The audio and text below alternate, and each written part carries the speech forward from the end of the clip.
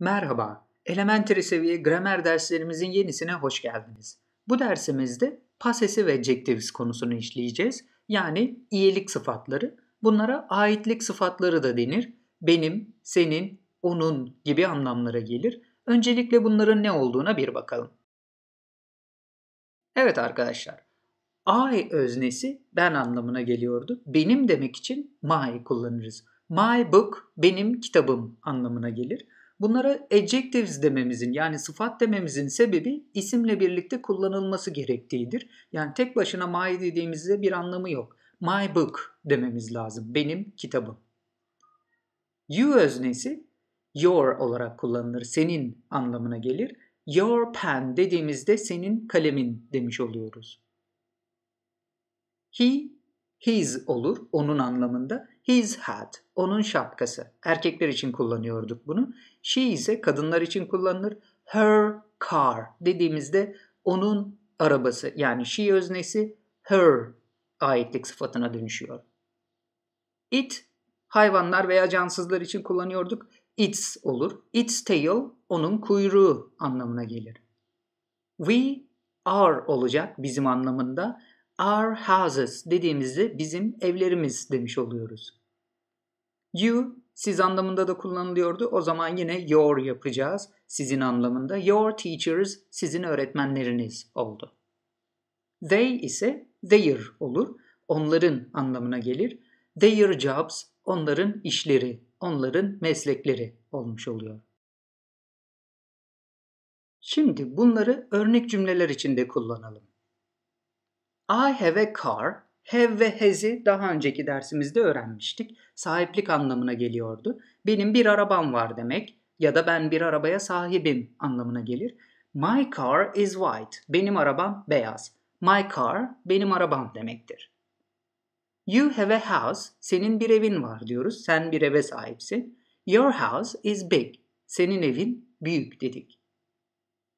Carl has a bike. Carl bir bisiklete sahip veya Carl'ın bir bisikleti var anlamında.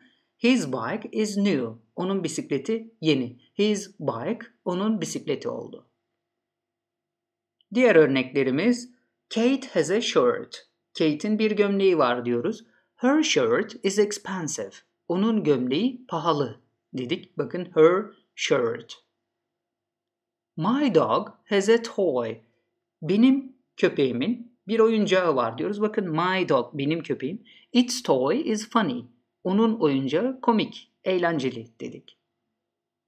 We have books. Bizim kitaplarımız var. Our books are important. Bizim kitaplarımız önemli. Our books bizim kitaplarımız oldu. Diğer örneklerimiz You have teachers.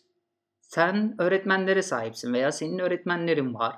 Your teachers are intelligent. Senin öğretmenlerin zeki diyoruz. Bakın your teachers. Veya bunu siz olarak da çevirebiliriz. O zaman you have teachers. Sizin öğretmenleriniz var.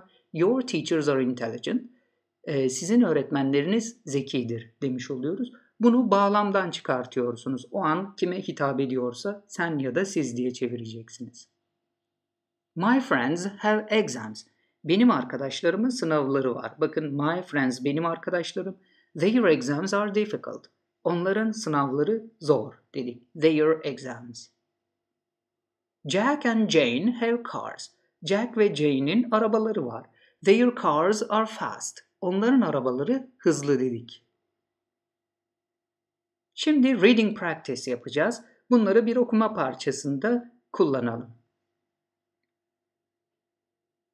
Evet, şimdi okuyoruz. I have a big family. Büyük bir ailem var. Have'i biliyoruz artık kullanımını.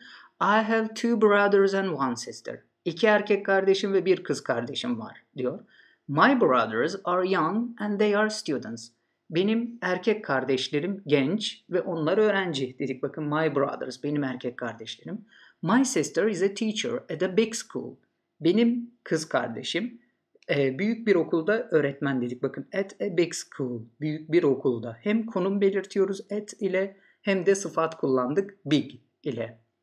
She has many students and her students are clever.